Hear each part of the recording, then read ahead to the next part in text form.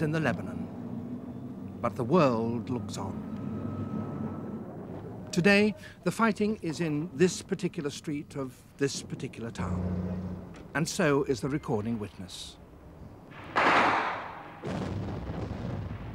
Moshe Alpert, senior cameraman, CBS News. People all over the world look at Israel through their news programs. Part of them are my pictures, but I prefer to show my country through her beautiful nature.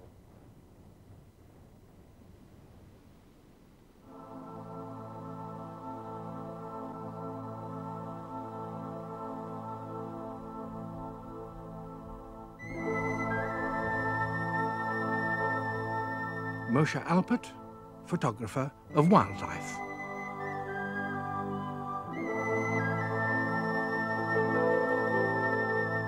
My interest in nature began when I was a child. Being a kibbutz child, I grew up among farmers. My kibbutz Afikim is located in the Jordan Valley, right in the middle of the Great Rift, with hills and mountain in the background.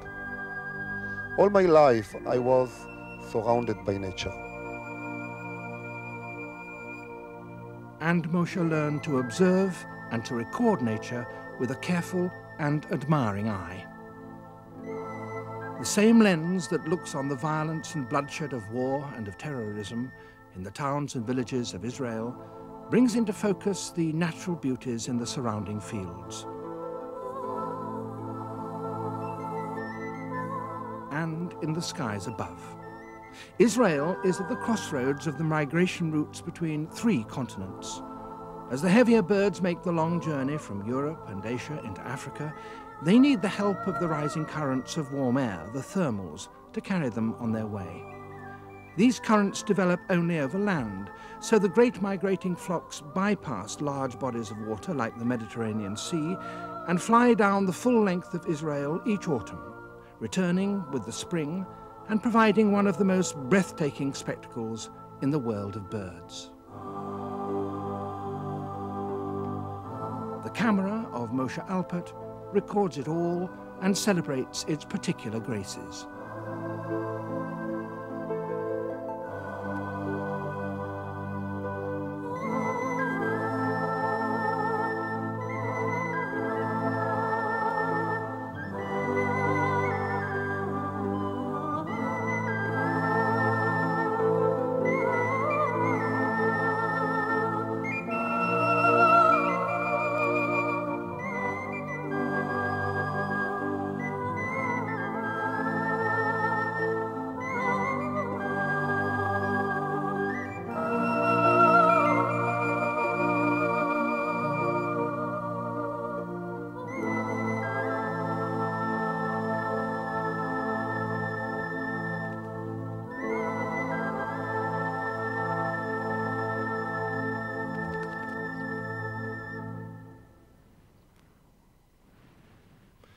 The Jordan Valley is the deepest rift on the surface of the earth. It stretches for over a hundred miles from north to south and two and a half thousand feet from sea level to its lowest point. It's a lush strip of green cutting through the desert.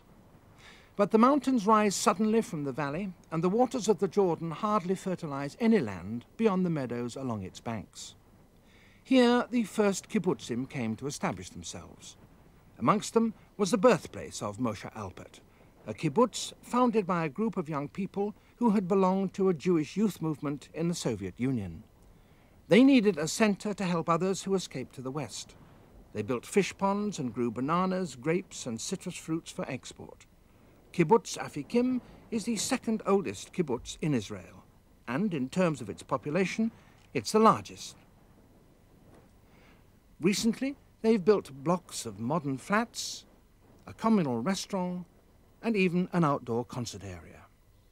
Today, about 1,500 people are settled in these blocks of modern flats, trying to live out the kibbutz ideal of pooled resources and equal opportunities for all.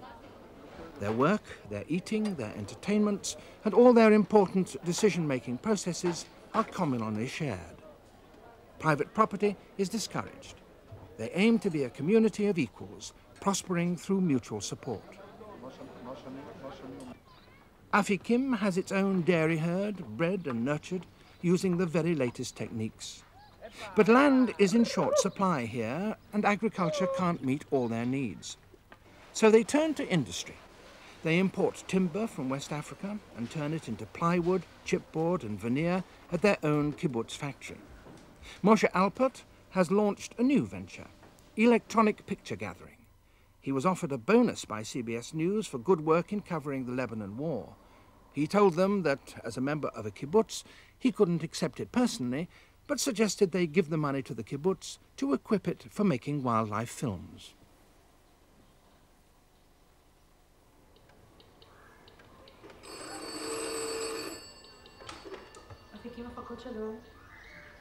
Efrat finished her university studies in film and television and then joined Afikim Productions as trainee producer. There was some opposition to the venture from the elders of the kibbutz, who thought that photography was all very well as a hobby, but shouldn't be taken seriously as a way of earning a living. But the CBS bonus changed their minds. Now Moshe does, as the leader of the team, what he used to do alone.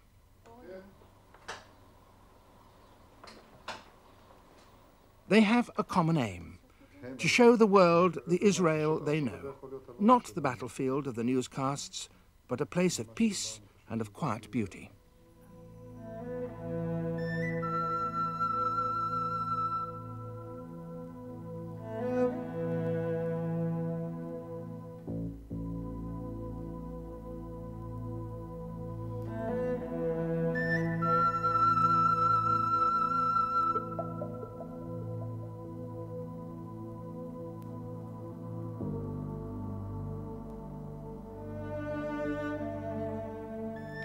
Across the Jordan Valley are the heights of Golan, some of them steep cliffs that rise uninterrupted to over 4,000 feet and block the rain clouds that sweep across the Sea of Galilee, patching their rocky faces with greenery. It's a region of space and winds. But this is border country, and it's here that Moshe learned his trade as news cameraman. Border incidents were frequent, and the world's media were always hungry.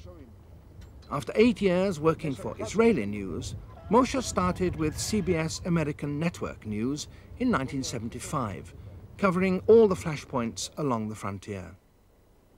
He still comes here, even when there's nothing of interest to the newsmen, when all is quiet and the long lens of his camera reaches out into the space over the valley in search of other sights that are special to this place the griffon vulture.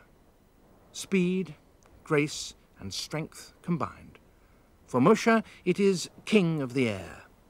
To capture the vulture on the wing is a challenge to any cameraman.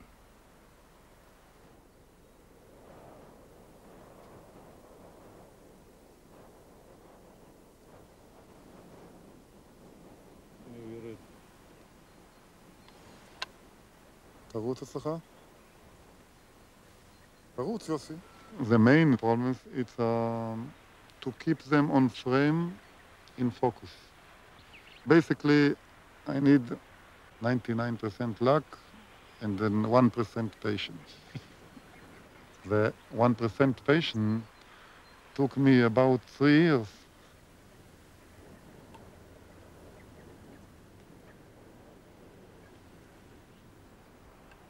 Moshe's experience as a news cameraman were invaluable training for his filming of wildlife, because the newsman has one important thing in common with the wildlife photographer. He has no control over what he's filming. Actors on a film set can be programmed to move in predictable ways at predictable speeds, so the cameraman can rehearse his framing and his focus. But soldiers in action and wild birds go where they will. Both the speed and the direction of their movements are unpredictable. The camera must constantly change direction and focus. The skills Moshe picked up in street battles help him to follow his birds.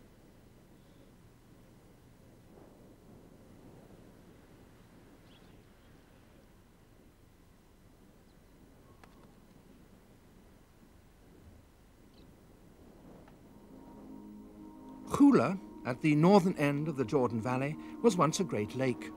It was drained in the 1950s by the Jewish National Fund to provide land for settlers. But public pressures demanded that large areas of swampland be left in their natural state to preserve their characteristic flora and fauna. Today, the Hula Reserve is the first of its kind in Israel, a conservation area of worldwide importance, extending over 775 acres. Here, tropical plants thrive in the pure, warm waters. Cyperus papyri border the swamps, and the migrating egrets come to rest in their branches. And this is a rich source of spectacular material for Moshe's wildlife films.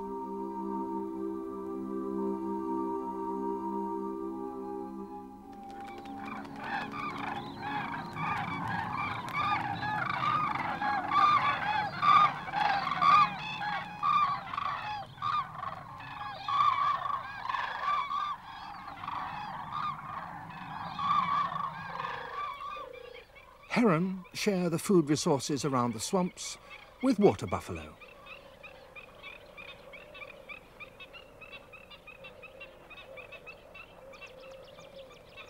Black-winged stilts probe the marshes around a grazing wild boar. And occasionally demonstrate that territorial aggression here isn't just for humans.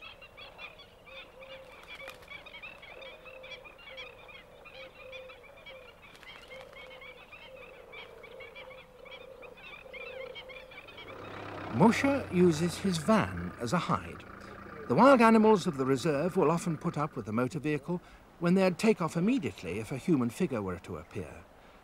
And this is where videotape really scores, because compared with film, it's cheap and reusable. If Moshe comes across an interesting situation, he can just keep the video camera running to see how it turns out. Here, the heron has a fish in its bill that's just too big to swallow. What will it do? It daren't put the fish down because there's another hungry heron waiting at its side. Moshe keeps recording and waits. The fish feels heavier and heavier. The heron's neck is getting tired. It puts down the fish on the side away from its rival and takes a drink to lubricate its gullet. By now it seems that the fish is long gone and the meal has been lost. But the herons are master fishermen and don't give up that easily. It sets off again in search of the fish.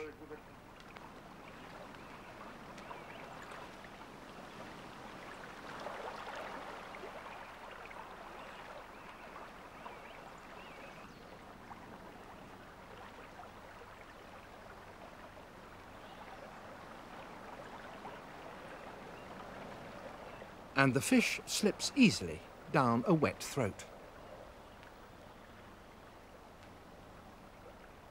Another drama with an unpredictable finale opens when a white-tailed eagle starts hunting the shallows.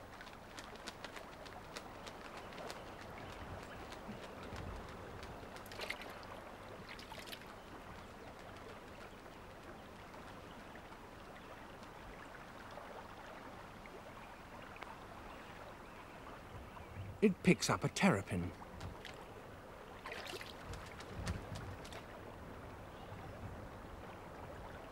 But then seems unsure what it has landed. Is it alive? Is it edible? The eagle and the terrapin wait. And so does Moshe, keeping the camera recording.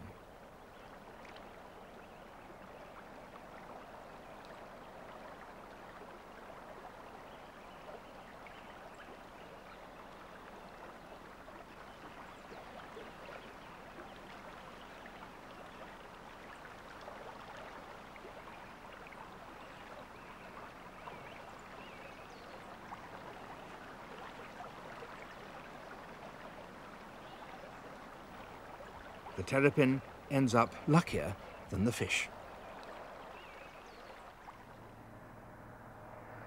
Moshe must always be ready to be called out on another assignment.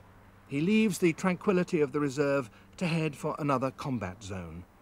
He must revert once more from wildlife photographer to newsman. But here he may be able to combine the two. The battle-scarred Syrian village of Husnia. It's used by lesser kestrels as a possible nesting site and by Israeli troops for exercises. Lesser kestrels are colonial nesting birds and will often try to take over ruined buildings in the hope of finding shelter to raise their young.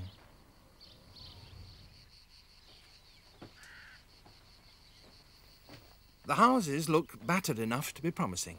They've been used in the past for target practice, but Moshe comes to recce the site just in case it can be left quiet enough to allow the kestrels to settle and hatch a brood.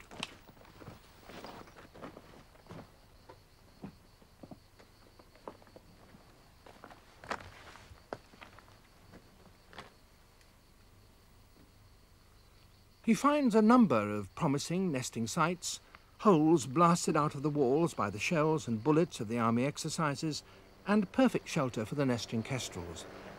But what are the chances of their being left undisturbed? Not, it seems, very good.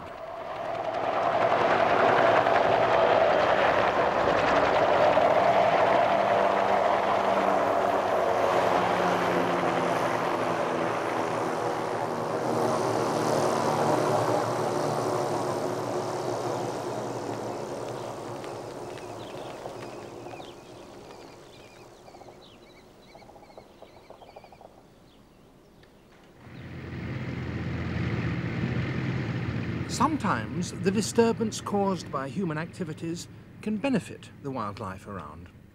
A ploughed field, for example, is a bountiful hunting ground and birds will be attracted from miles away by the sight and sound of a working tractor. Especially in Israel, the short-toed eagle. This magnificent bird, so successful and resourceful that its range stretches from Europe to China, is also called the snake eagle because its diet is mainly lizards and snakes. These can easily hide away in the pastures but are suddenly exposed by ploughing. As the soil is turned, the short-toed eagle will swoop down and hover over the plough, 30 metres high in the sky its sharp eyes scanning the freshly turned earth, ready to plummet down at the first sign of movement in the soil below.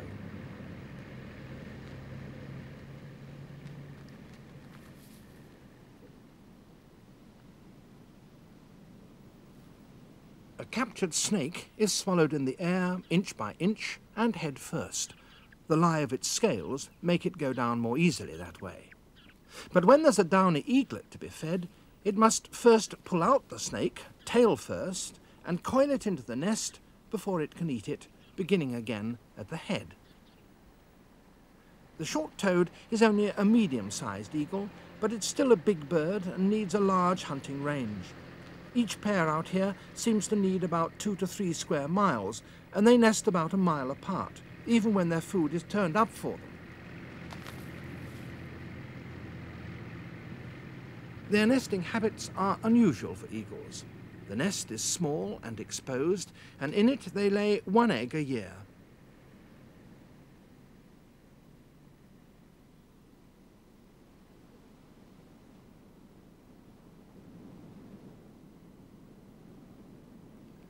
Sometimes the eagle will half swallow a snake just to transport it more easily back to the young at the nest. Eagle watchers will often say that the sight of feeding a fledgling at the nest is one of the rare pleasures they aspire to. Moshe Alpert has recorded it from beginning to end.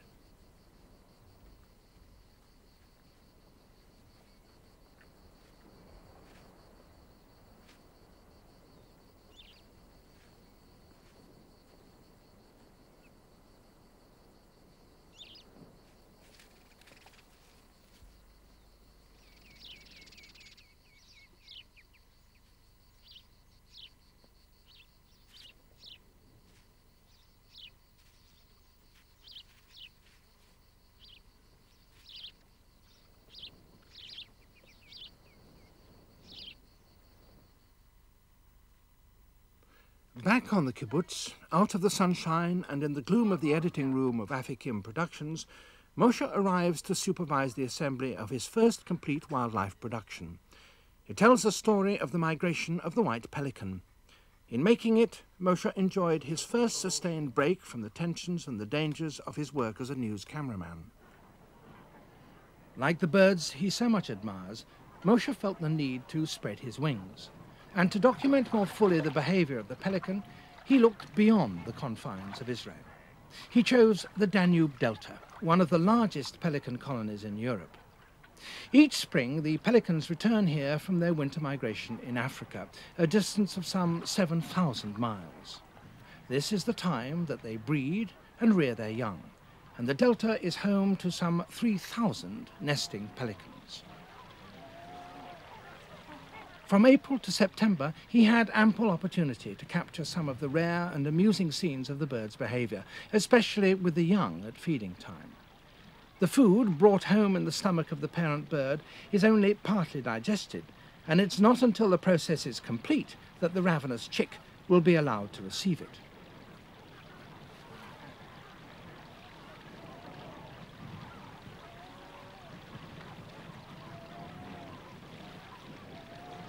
The young, at around three weeks old, congregate in creches at the water's edge, and the returning parents recognize their chick and feed only their own. To find food, the birds may have to travel up to 50 kilometers. One aspect of the pelican's behavior seemed to Moshe to match admirably the philosophy of the kibbutz, mutual cooperation. Moving forward as a group and simultaneously dipping their heads, they create a large fishing net, trapping schools of fish. He followed the flight of the pelican all the way from the Danube Delta right across Turkey and recorded its arrival in Israel. The production marked a new beginning in his life.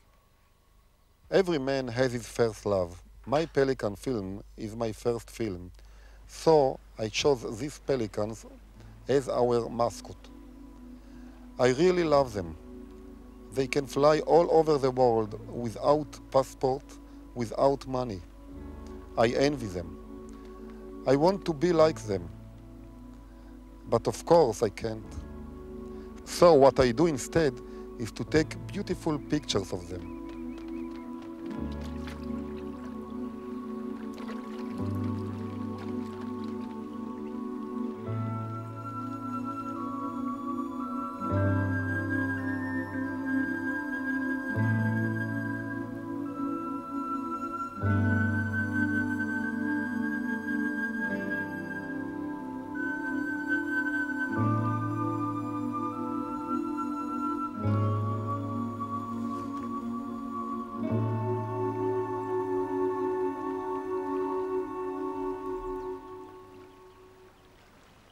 Pelican's first landfall in Israel is the Hula Reserve, where the waters teem with fish.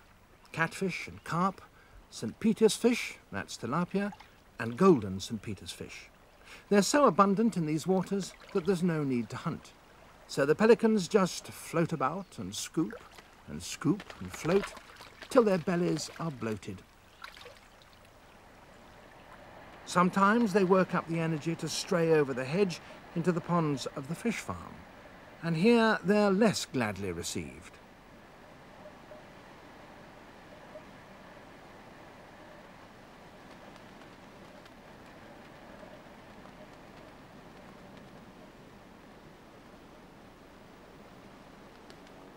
But hostility to birds is rare in Israel.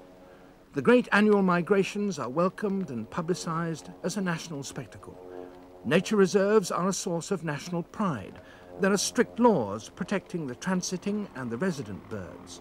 And even the Israeli Air Force is careful to restrict its flying in areas that are crossed by the migration routes.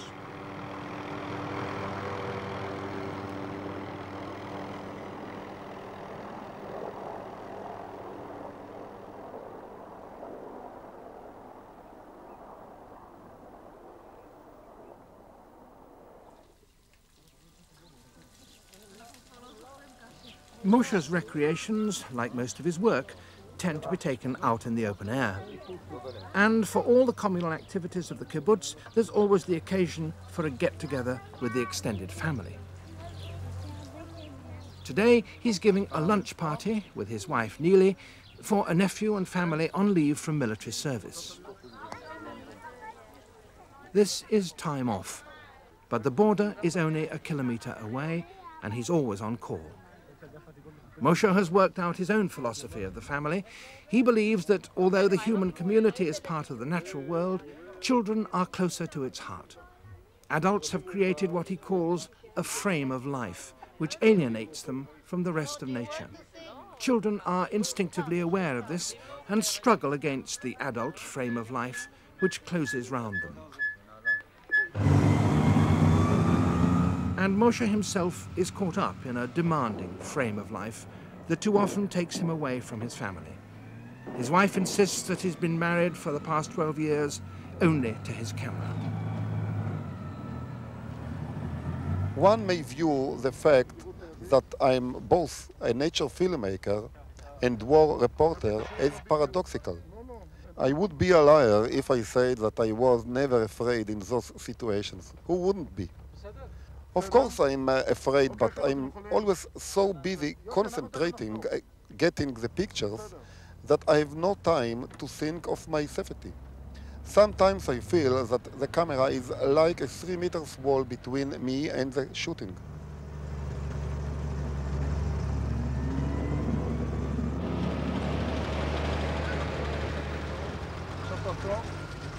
Okay, חבר'ה? Another border incident is over, safely captured by Moshe's camera and by the sound equipment operated by his assistant, Yossi. Yossi is an Algerian Jew who came to learn the business of filming warfare when a mine blew his right foot off and stopped him taking part in it. Their news gathering is done for the day and they can head for home. But there's just one more border incident that's worth recording. High and free over the barbed wire, the birds that Moshe so much admires and envies float unchallenged over the boundaries that have caused so much shedding of blood. Watching birds, Moshe believes, is not just entertainment. It can make us into better people. If we look at them long enough and hard enough, we may grow to feel that we too are a part of their natural world. And if we can learn to have a better relationship with nature, then it must follow that we shall have better relationships with each other.